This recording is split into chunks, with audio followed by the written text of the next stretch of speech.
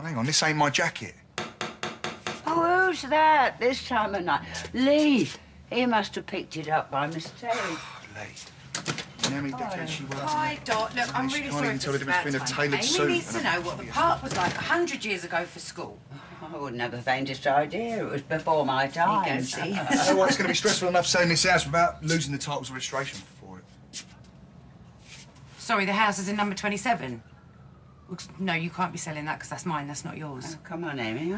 Let's see if we can find a biscuit in the tin. Sit down beside Ricky. Ron was going to have a word. Oh, was she now? What is this about Ongar? Is it? Yeah, we've had an offer accepted. I thought that was like way off. Oh, no, it's happening. Like we agreed. I did not agree to sell my house. Look, Roxy.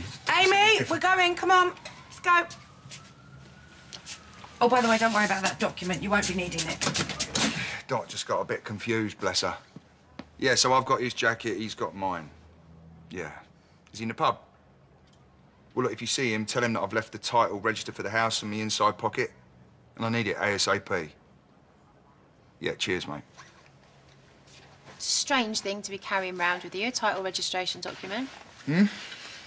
You could just get another one if it's lost, can't you? Well, it's just a hassle, ain't it? When did you say you dropped your jacket off at Dot's? Saturday, wasn't it? Yeah, something like that. Are you going to pour me a glass of Well, wine or that's funny considering we only got the offer today. when did you arrange this valuation?